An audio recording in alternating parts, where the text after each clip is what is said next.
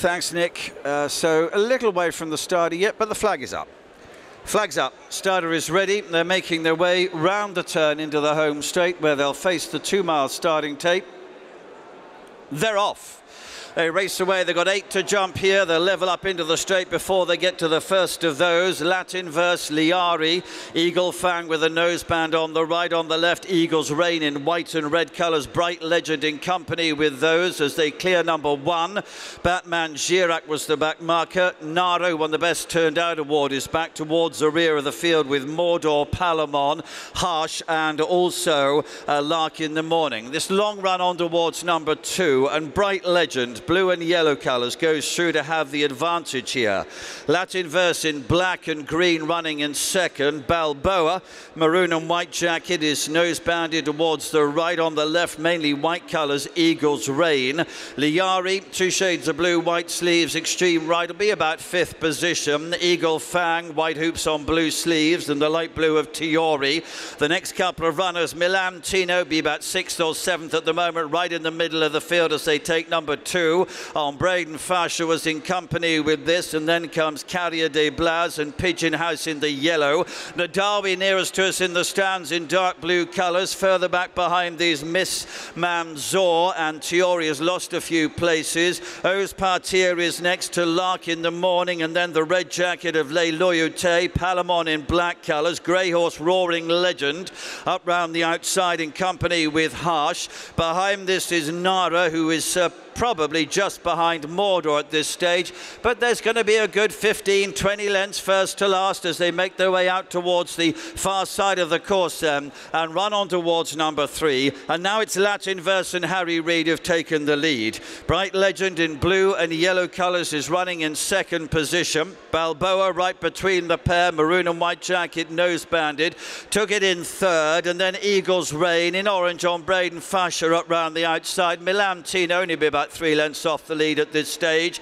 Eagle Fandon, Liari Nadawi and Miss Manzora behind those. And then comes Tiori as they run on towards number four. Batman Giroc is further back on the inner of the course. Carrier de Blas and uh, with this is Oz Partia and also Lark In The Mornin as they take the fourth. We got a faller there. There's several fallers. Mordor's being brought down. Oz Partia was one of those that went at that flight of hurdles as well as they run away now onto the far side. Carrier de Blas was also down at that flight. It looks like three fallers at that one as they run up towards the top of the hill. Palamon was badly hampered and is being pulled up. But it is Bright Legend and Latin Verse who lead. Balboa two lengths off him in third.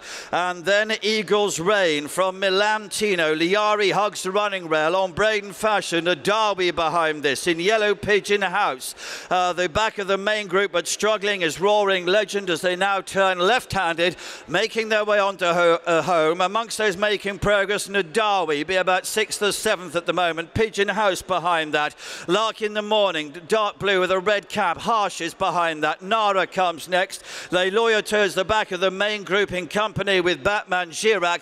This is the third last flight of hurdles. Latin verse uh, and Balboa makes an error. Liara, very bad mistake back in the field there on Braden Fasher and Bright Legend on the left are still there. Milantino, the horse with a splash of white on his face up with them. The Derby making progress. Extreme left, Lark In The Mornin. Red Cap running on as well. They come towards the second last. Liari was pulled up and it's Latin verse on Braden Fasher, Bright Legend, and then Milantino, Pigeon House, Nadawi, and Lark In The Mornin. The red cap coming into it very strongly now. Uh, Harsh is coming from the back of the field. Eagles Reign's got a chance. Nara's there. Miss Manzor is behind this.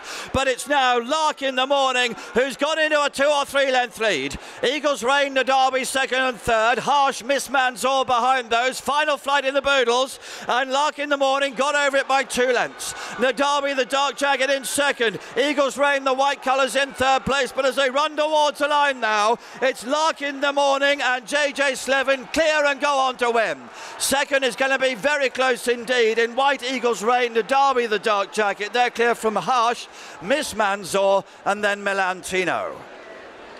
JJ Slevin has teamed up again with Joseph O'Brien to win a second Fred Winter, his third in total of festival successes. This with Lark In The Mornin. Many congratulations. Um, Joseph was just saying there was a big debate about whether or not to run with all the rain that had fallen. Was that playing in your mind at all? Uh, yeah, big time. Um, obviously, he kind of got stuck in the ground uh, at home all winter and you know, probably didn't perform to his best. So we were strugg- we were worried coming here and I got a spin around on um, Colonel Mustard earlier, and just after that, I thought it wasn't as bad as probably had walked. So, could Cheltenham, we had to kind of let him take his chance if we could at all. Yeah, so you gave that, that gave you some encouragement to, to go. It did because Colonel Mustard is probably a nice ground horse, and he uh, he ran very adequately, finished fifth, so he coped with it. So we were more than happy to take a chance then. And did you pick your spot on the way around with that in mind? Yeah, Joseph did say it to me. He said to be patient and. Uh, maybe try and stay out a bit, try and grab some sort of fresh ground, and uh, that's what we tried to do. Anyway.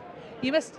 It must be difficult because you, you, presumably you had quite some confidence in this horse. He seemed to have so much the right profile for the race. He's got such good flat form as well. He'd been laid out with this aim in mind, and then the rain comes. You know, frust- could, it could have been frustrating. Yeah, sure, it could have been. But you look at um, Joseph was always always of the opinion if you can take your chance at all, take it, and uh, it served him well in the past, and it worked out well today.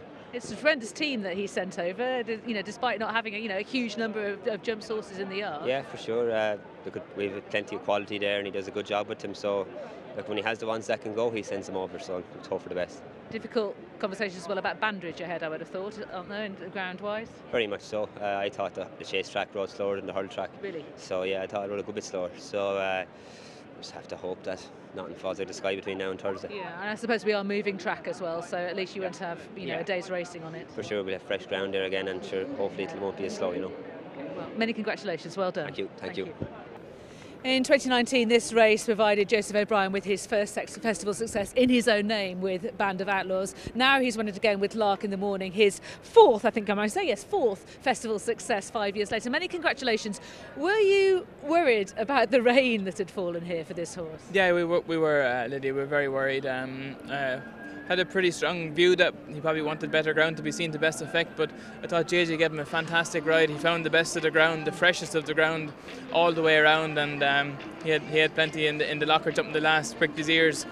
Delighted for Sean, uh, Paddy, for Nadine and, and for JJ to have a winner here this week is very special. Absolutely. And apart from the ground concern, did you feel everything was right in terms of what you need for a winner of this race? Yeah, yeah. We, we thought that he was coming here uh, with a real life chance, um, um, but obviously so much rain fell last night that we actually had a conversation whether we'd run or not, but we decided to run, and yeah, luckily. Good thing you did. Maybe he's more versatile than yeah, you thought. Yeah, yeah, yeah. No, he seemed to handle it well. So yeah. And I must ask you about Banbridge because obviously you've talked about the, the, ground for him as well. There's more rain, it seems, uh, forecast this week. Is he going to run in the Ryan? Are you going to uh, take your chance? We'd like to run. Yeah, we'd like to run if we can. I'll walk the track Thursday morning, then we'll discuss with Ronnie and make a decision then. Okay. Well, congratulations. Well done. You're on the board. Thanks, Lydia. Thank you. Watch live racing now on racingtv.com.